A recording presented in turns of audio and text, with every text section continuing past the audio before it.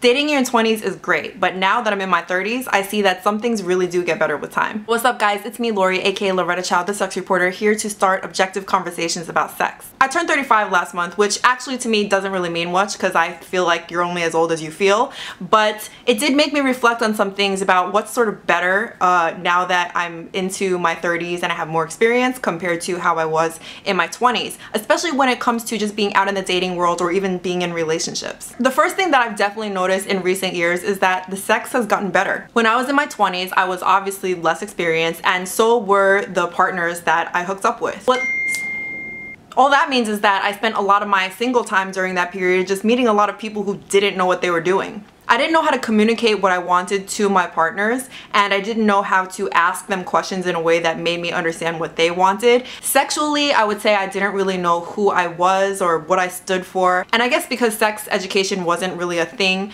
in my household and it wasn't something that I really felt comfortable talking with other people about, even just friends, I didn't have like fully developed thoughts on sexuality in general. Because of that, I think I didn't really know how to respond to things or to stand up for myself. So for example, if a man wanted me me to be both a freak and like an angelic virgin at the same time, I didn't recognize how fucked up that was and I didn't really know how to respond to that. I didn't understand all the social dynamics at play or even like whether I should feel flattered or angry when I got into sexual relationships with men who like wanted to own me. The second advantage I would say to dating in my 30s is a little corny but it's basically that I love myself. I've always been a pretty confident person but it wasn't until I was older that I learned to like truly love myself. And by that I specifically mean that I feel very comfortable just being alone. I have fully formed hobbies and I have solid lifelong relationships with friends and family that more than fulfill my life whether or not I'm in a relationship. Part of it is also moving past the point where I feel like I constantly have to prove myself to everyone and to pay my dues, to, to earn things that I deserve because I've already done it and I feel very confident in my experience and my wisdom. That goes into like all of my identity, not just sexuality and dating, but like I have a career that I'm proud of and it makes me feel more comfortable in my own skin. All of that really means that I don't feel like I need someone to survive and be happy. I can date with a clear head and not look at people for what they can do for me to make my life great, but rather how they can add to my already great life. The third thing that's better is I also know much better how to love another person. I have always loved hard. Anybody who knows me for any length of time can tell you that. I'm kind of a woman of extremes. In my 20s, that kind of manifested as me thinking that I needed to like sacrifice myself and sacrifice lots of things in order to prove my love to someone or to feel love for somebody. I also kind of saw love as like mutual ownership if that makes any sense. I grew up believing that real love had to be ride or die, which I still do actually. I still feel like I'm a ride or die lover, I'm a ride or die friend, and everything else. But in my 20s, I think I interpreted ride or die as like being willing to suffer through literally anything that a person put you through because you love them, no matter how much it hurts you. I've also always been very hardcore about loyalty, and I think in my 20s I felt like love obviously came with loyalty. I still feel that. But back then I think I interpreted loyalty as being like a form of ownership, as in you had to be like one with the person, and you know, my partner would have to want to be around me every single second of the day and want to talk to me all day and tell me everything.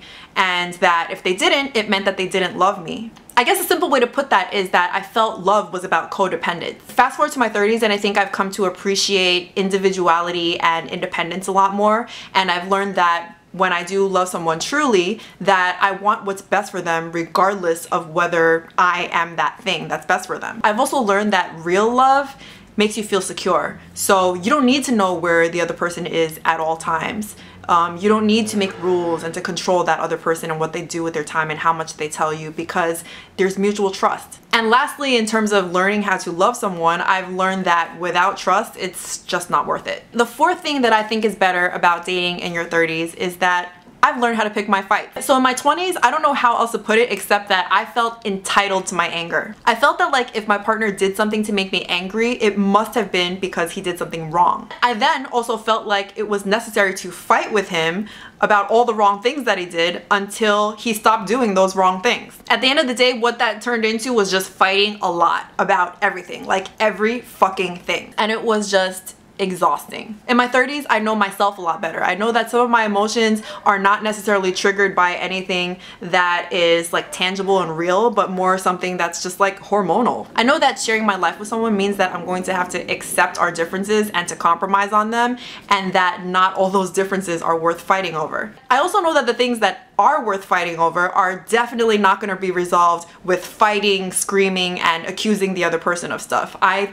I'm a better negotiator. So the last thing, which I think is super important, is that I know when to walk away. When I was in my 20s and even in my teens, I was so afraid of breaking up. Even with people that I didn't even really like that much, by the end of our relationship, I just, I dreaded breaking up with people. Like I would be the one to want to leave, but just the thought of leaving and all that emotion just devastated me. I was afraid to lose people and I was afraid that if whatever we had came to an end that it would also erase all the good things that we shared. In my 30s, I realized that good things, amazing things, great things, the love of your life can come to an end and it doesn't mean that it didn't have a positive impact on you. Like what I see now is that not everything is meant to last forever and that's okay. I learned that you don't have to ride something out until it implodes and like the world is crumbling around you and you hate each other. You can end it when you realize you're just bad for each other and you're still on good terms. So I would love to know what you guys think. Is there anything that you've learned from past relationships